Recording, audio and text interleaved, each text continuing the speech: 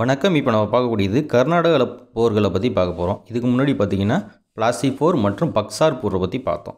இந்த வீடியோ உங்களுக்கு பிடிச்சிங்கன்னா சப்ஸ்கிரைப் பண்ணிடுங்க. அது மட்டும் இல்லாமல் பெல் ஐக்கனை கிளிக் பண்ணால் என்னோடய வீடியோ உங்களுக்கு தொடர்ச்சியாக வந்துகிட்டு இருக்கும். சரி கர்நாடக போர் எதுக்கு நடந்தது அப்படின்னு பார்த்தீங்கன்னா இரண்டு பெரிய அந்த ஃப்ரெஞ்சுக்காரர்களுக்கும் ஆங்கிலேயர்களுக்கும் அந்த மேற்கத்திய நாடு ரெண்டு நாட்டுக்காகவும் நடந்த ஒரு போர்கள் தான். அதாவது யார் வந்து வலிமையாக இங்கே இந்தியாவில் அவங்களோட கால் பதிக்கிறாங்க அப்படிங்கிற ஒரு இதில் வந்து ரெண்டு பேருமே அவங்க சில டாக்டிக்ஸ்லாம் யூஸ் பண்ணுவாங்க. அதனால் எப்படி இந்த போர் நடந்தது அப்படிங்கிறது தான் இப்போ பார்க்க போகிறோம் சரிங்களா? ஃப்ரெஞ்சுக்காரர்களுக்கும் ஆங்கிலேயரும் தான் இதில் முக்கியமானவங்க. அப்புறம் இந்திய அரசர்களும் இதில் முக்கியமானவங்களாக வருவாங்க. இது வந்து கர்நாடக பகுதிகளில் நடந்ததுனால இது கர்நாடக போர் அப்படிங்கிறாங்க. இது வந்து ஆயிரத்தி எழுநூற்றி நாற்பத்தி ஆறுலேருந்து ஆயிரத்தி எழுநூற்றி அறுபத்தி மூணு வரைக்கும் நடந்தது. கர்நாடக போர்னாலே மூன்று கர்நாடக போர் முக்கியமானது ஓகேங்களா? முதல் கர்நாடக போர் ஆயிரத்தி எழுநூற்றி நாற்பத்தி ஆறுலேருந்து நாற்பத்தெட்டு வரைக்கும். இரண்டாம் கர்நாடக போர் நாற்பத்தி ஒன்பதுலேருந்து ஐம்பத்தி நாலு வரைக்கும். மூன்றாம் கர்நாடக போர் ஐம்பத்தி ஆறுலேருந்து ஐம்பத்தி ஆறுலேருந்து அறுபத்தி மூணு வரைக்கும். அப்போது இயர்ஸு ரொம்ப முக்கியம். இந்த கர்நாடக போரோடைய காலம் முக்கியமானது. அதாவது இயர்ஸு ரொம்ப முக்கியமாக குறித்து வச்சிங்க. சரி முதல் கர்நாடக போரை பற்றி பார்த்துருவோம் முதல் கர்நாடக போர் இந்த மூன்று கர்நாடக போர்லேயும் முக்கியமான கேள்விகள்னு வந்தால் அந்த உடன்படிக்கைகள் வரும். ஓகேங்களா எந்த ஆண்டு நடைபெற்றது? அது எந்த உடன்படிக்கையின் மூலயமா முதல் கர்நாடக போர் நிறைவுக்கு வந்தது? இரண்டாம் ப- கர்நாடக போர் நிறைவுக்கு வந்தது அப்படின்னு கேள்வி கேட்பாங்க. காரணங்கள் இப்போ பார்த்தீங்கன்னா முதல் கர்நாடக போர் வந்து ஐரோப்பாவில் ஏற்பட்ட ஆஸ்திரிய வாரிசு உரிமை போர் தான் வந்து இதுக்கு காரணமாக இருந்தது பிரிட்டனும் ஃப்ரான்ஸும் எதிரி அணியில் இருந்தன. அதே இம்பேக்ட் இங்கே வருது. ஓகேங்களா அங்கே ஏற்பட்ட ஒரு விளைவு இங்கே இருக்கக்கூடிய இதில் வந்து இம்பேக்ட் ஆகிறதுனால இங்கேயும் போர் இவங்க தொடங்குறாங்க. அடையாறு போர் ஆயிரத்தி எழுநூற்றி நாற்பத்தி ஆறு. சென்னையில் அடையாறு நதிக்கரையில் அமைந்துள்ள சாந்தோம் என்ற இடத்தில் கர்நாடக நவாப் அன்வருதினிக்கும் பிரெஞ்சு படைக்கும் இடையே இப்போர் நடைபெற்றது. யாருக்கு? கர்நாடக நவாப் அன்வருதினுக்கும் பிரெஞ்சு படைக்கும் இடையே நடைபெற்றது. அன்வரு அன்வருதின் வந்து ஆங்கிலேயரின் உதவியை நாடுறாரு. கேப்டன் பாரடைஸ் தலைமையிலான மிகச்சிறிய பிரெஞ்சு படை மாயூஸ்கான் தலைமையிலான மிக வலிமை வாய்ந்த நவாப் படையினை தோற்கடிக்குது. நன்கு பயிற்சி பெற்ற ஐரோப்பிய படை இந்திய படையை வெற்றி பெற்று தங்கள் மேலாண்மையை நிலைநாட்டிய முதல் நிகழ்வு இது அப்படின்னு சொல்கிறாங்க இப்போ அடையாறு போர் ரொம்ப முக்கியமானது. ஐலா ஷபெல் உடன்படிக்கை. ஐரோப்பாவில் நடைபெற்ற ஆஸ்திரிய வாரசுரிமை போரின் முடிவில் ஏற்பட்ட ஐலா ஷபெல் அப்படிங்கிற உடன்படிக்கையின் மூலயமா முதல் கர்நாடக போர் முடிவுக்கு வந்ததாக அறிவிக்கிறாங்க. அதுபோல் மதராஸ் அது சென்னை இப்போ இருக்கக்கூடிய சென்னை ஆங்கிலேயரிடம் திரும்ப ஒப்படைக்கப்பட்டது. இந்த உடன்படிக்கை மூலயமா இது பண்ணுறாங்க இதில் ஃபஸ்ட்டில் வந்து வெற்றி பெறது பார்த்திங்கன்னா உங்களுக்கு ஃப்ரெஞ்சு தான் ஓரளவுக்கு வெற்றி பெற மாதிரி இருக்கும். அப்புறம் கடைசியாக பார்த்திங்கன்னா ஆங்கிலேயர்கள் வெற்றி பெற்று ஃப்ரெஞ்சை வந்து இந்த மூன்று கர்நாடக போர் மூலயமா அவங்கள ரொம்ப இது பண்ணிடுவாங்க.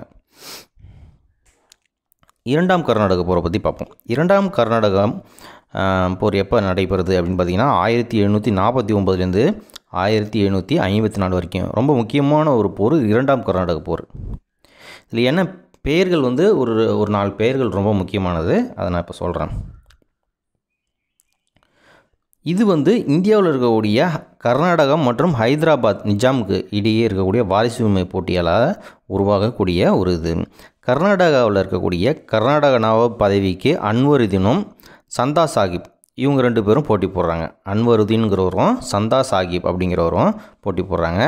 அதே போல் ஹைதராபாத் நிசாமும் நிசாம் பதவிக்கு யாராருன்னா நாசிர் ஜங்கும் முசஃபர் ஜங்கும் ரெண்டு பேர் இந்த நாலு பேர் முக்கியமானது. அப்போ கர்நாடகாவில் ரெண்டு பேர் போட்டி போடுறாங்க. அவங்க யாருன்னா அன்வருதீனும் சந்தா சாஹிப்பும் இங்கே வந்து ஹைதராபாத்தில் நஸ் நாசிர் ஜங்கும் முசஃபர் ஜங்கும். நாசிர் ஜங்கு முசஃபர் ஜங்கு. இந்த பேர் ரொம்ப முக்கியமானது. இப்போ இவங்க போட்டி போடுறாங்க. இவங்க யார் யார் பக்கம் இருக்கிறாங்கிறதும் நீங்கள் வந்து குறித்து வச்சுக்கணும். அதாவது வந்து முசஃபர் ஜங்கு யார் பக்கம் இருக்கிறாரு? நாசிர் ஜங்கு யார் பக்கம் இருக்கிறாரு? அன்வருதீன் யார் பக்கம் இருக்கிறாரு? அது பிறகு சந்தா சாஹிப் யார் பக்கம் இருக்கிறாரு? அப்படிங்கிறதும் தேவையானது. அதாவது ஃப்ரெஞ்சுக்காரர்கள் வந்து சந்தா சாஹிப்பிற்கும் முசஃபர் ஜங்குக்கும் ஆதரவு அளிக்கிறாங்க. சந்தா சாஹிப்பை வந்து கர்நாடக நவாபாகிறதுக்கும் முசபர் ஜங்கை வந்து ஹைதராபாத் நிஜாம் ஆகிறதுக்கும் இவங்க உதவி பண்ணுறாங்க அப்போ வந்து ஃப்ரெஞ்சுக்காரர்கள் சப்போர்ட் பண்ணக்கூடியவங்க இவங்க தான் சந்தா சாஹிப்புக்கும் முசபர் ஜங்குக்கும் சப்போர்ட் பண்ணுறாங்க ஆங்கிலேயர் வந்து யாருக்கு உதவி பண்ணுறாங்கங்கிறது அன்வருதீனுக்கும் நாசிர் ஜங்குக்கும் அன்வருதீனுக்கும் நாசிர் ஜங்குக்கும் உதவி பண்ணுறாங்க ஆம்பூர் போர். இதான் நம்ம அடுத்த போர். ஆம்பூர் போர் வந்து ஆயிரத்தி எழுநூற்றி நாற்பத்தி ஒன்பது.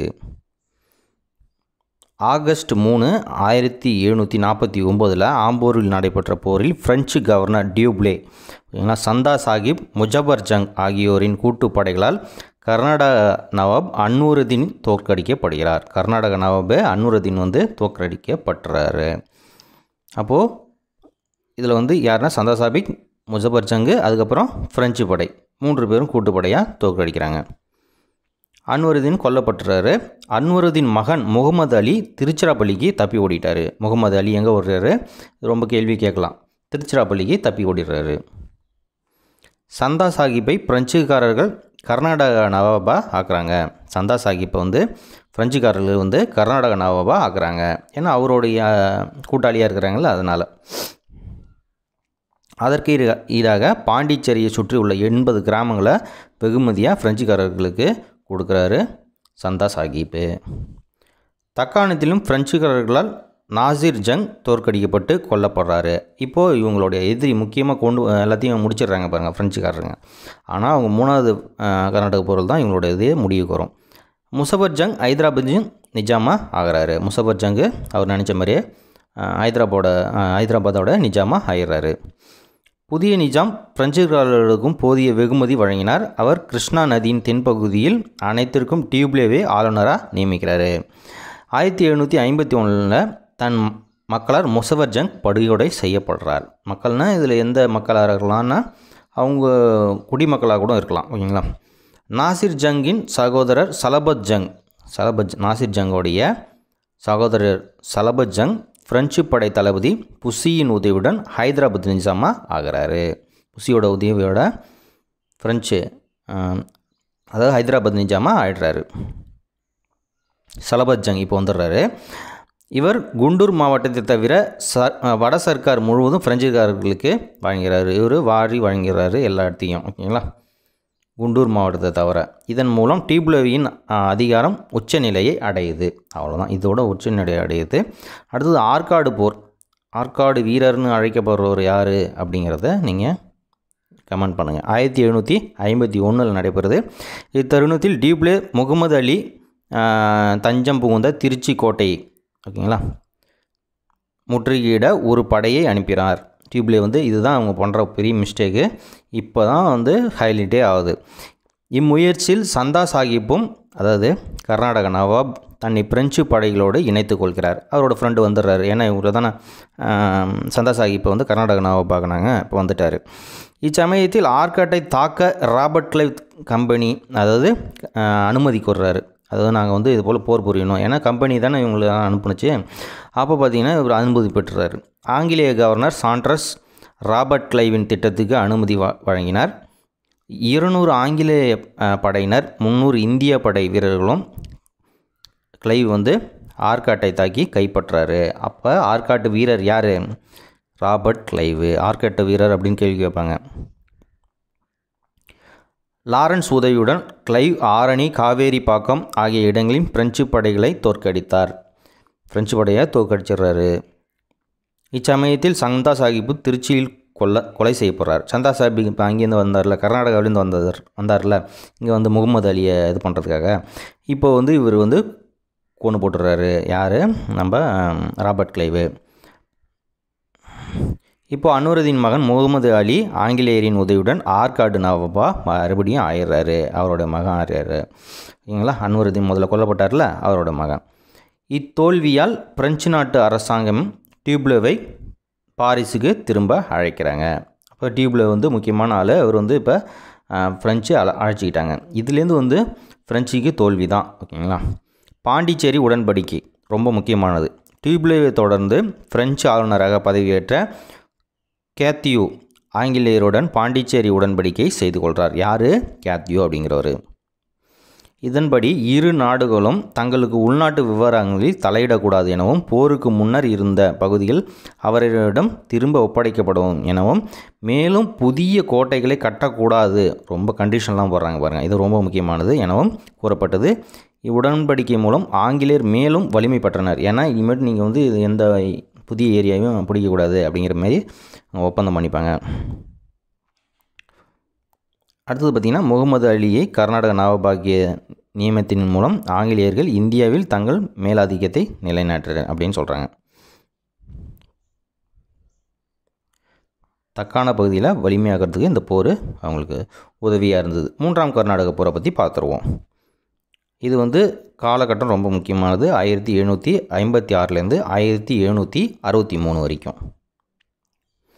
அதாவது ஐரோப்பாவில் வெடித்த ஏழாண்டு போர் இந்தியாவின் மூன்றாக மூன்றாம் கர்நாடக போராக உருவெடுத்தது அப்படிங்கிறாங்க. இப்போரில் பிரெஞ்சு படைகளை வழிநடத்த கவுண்டி லாலியை பிரெஞ்சு அரசாங்கம் நியமிக்குது. ஓகேங்களா? கவுண்டி லாலி ரொம்ப முக்கியமான பேர்.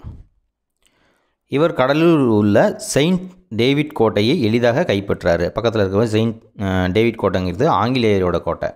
இதை வந்து இவர் கைப்பற்றுகிறாரு. கர்நாடகா பகுதியிலிருந்து ஆங்கிலேயரை விரட்ட தன்னுடன் இணையுமாறு புசிக்கு கவுண்டி லாலி உத்தரவிடுறாரு. ஓகேங்களா? கர்நாடக பகுதியில் இருக்கிற ஒரு யாருன்னா புசி அங்கே தலைமை போர் வீரராக இருக்கிறாரு. புசி ஹைதராபாத்திலிருந்து புறப்பட்டு தருணத்தை பயன்படுத்திய வட சர்க்கார் ஆந்திர பிரதேசம் ஒடிசா இந்த பகுதியை சேர்ந்த கைப்பற்ற கர்னல் போர்ப்படை வங்கத்திலிருந்து ராபர்ட் கிளைவ் அனுப்புகிறார் ராபர்ட் கிளைவ் என்ன பண்ணுறாரு சில ப போர் வீரர்களை அங்கே அனுப்புகிறாரு புசியை எதிர்க்கிறதுக்காக. வந்தவாசி போர் ஆயிரத்தி எழுநூற்றி அறுபது. ஆயிரத்தி எழுநூற்றி அறுபதில் ஜனவரி இருபத்தி இருபத்தி ரெண்டில் நடைபெற்ற இப்போரில் ஜெனரல் அயர்கூட் தலைமையிலான ஆங்கிலேய படை லாலி தலைமையிலான பிரெஞ்சு படையை முற்றிலும் தோற்கடித்தது. கவுண்டி லாலி இருக்குல்ல அவரோட படையை தோற்கடிச்சிட்டாங்க. யார்? ஜெனரல் அயர்கூட் அயர்கோடுங்கிறவர் ரொம்ப முக்கியமானவர். பின்னர் ஓராண்டுகள் இந்தியாவில் இருந்து அனைத்து குடியேற்றங்களையும் பிரெஞ்சுக்காரர்கள் இழந்தனர். ஒரு வருஷத்துலேயே இங்கே இருக்கக்கூடிய குடியேற்றங்கள் எல்லாத்தையும் இழந்துடுறாங்க. கவுண்டி லாலி பிரெஞ்சு நாட்டுக்கு அழைக்கப்பட்டு தூக்குல போட்டு கொண்டுடுறாங்க சிறையில் அடித்து ஓகேங்களா? அவர் கொண்டுடுறாங்க இதில் நான் இதனோட முடியில் வர்றது தான் ஃப்ரா பாரிஸ் உடன்படிக்கை. ஓகேங்களா? பிரெஞ்சுக்காரர்களோட இடம்லாம் ஓரளவுக்கு கொடுத்துட்றாங்க. ஆனால் அவர்கள் தங்கள் பகுதியை பலப்படுத்தவும் படைகளை பெருக்கவும் தடை விதிக்கப்பட்டது. முதல்ல வந்து கோட்டை கட்டக்கூடாதுன்னு சொல்லிட்டாங்க. ரெண்டாவது கர்நாடக போரில். ஆனால் மூணாவது கர்நாடக போரில் இனிமேல் நீங்கள் எங்கேயும் சண்டைலாம் போடக்கூடாது. எங்ககிட்ட வச்சுக்க கூடாதுன்னு முடிச்சு விட்றது தான் மூன்றாம் கர்நாடக போர். இதோட ஃப்ரெஞ்சோட வேலை மிகப்பெரிய அளவில் முடிவுக்கு வந்துடும் ஓகேங்களா? இனிமேட்டு ஃப்ரெஞ்சுக்கும் ஆங்கிலேயருக்கும் பெரிய போரே நடக்காது. இனிமேட்டு வரக்கூடியதான் ஆங்கிலேயர்களுக்கும் இங்கே இருக்கக்கூடிய மன்னர்களுக்கும். அதாவது பார்த்திங்கன்னா அடுத்து வரக்கூடிய மைசூர் போராக இருந்தாலும் சரி மராத்தியர் போராக இருந்தாலும் சரி ஆங்கிலேயர்களுக்கும் இங்கே இருக்கக்கூடிய அரசாங்கத்துக்கும் நடக்கிறதா இருக்கும். இந்த ஒரே ஒரு போர் மட்டும்தான் நல்லா ஞாபகம் வச்சுங்க கர்நாடகா போர் மட்டும்தான் ஃப்ரெஞ்சுக்காரர்களுக்கும் ஆங்கிலேயர்களுக்கும் நடந்த போராக இருக்கும். அடுத்த வீடியோவில் மைசூர் போரை பற்றி பார்க்கலாம். நன்றி வணக்கம். இந்த உடன்படிக்கையெல்லாம் ரொம்ப முக்கியமானது. பாரிஸ் உடன்படிக்கை பாண்டிச்சேரி உடன்படிக்கை. இந்த மூன்று உடன்படிக்கைகளும் ரொம்ப ரொம்ப நீங்கள் இந்த இதெல்லாம் ஓரளவுக்கு என்னால் படிக்க முடியாதுப்பா அப்படின்னா கூட என்னால் பேர்லாம் ஞாபகம் வச்சுக்க முடியாது. ரொம்ப கஷ்டமாக இருக்குது அப்படின்னா கூட இந்த உடன்படிக்கையை மட்டும் ஞாபகம் வச்சுங்க ஐல ஷபேல் உடன்படிக்கை பாண்டிச்சேரி உடன்படிக்கை அடுத்தது வரக்கூடியது கடைசியாக வரப்படக்கூடியது பாரிஸ் உடன்படிக்கை. மூன்று போருக்கும் மூன்று உடன்படிக்கை உண்டு. அந்த இயரை ஞாபகம் வச்சுக்கோங்க. ஓகேங்களா? நன்றி வணக்கம். தேங்க்யூ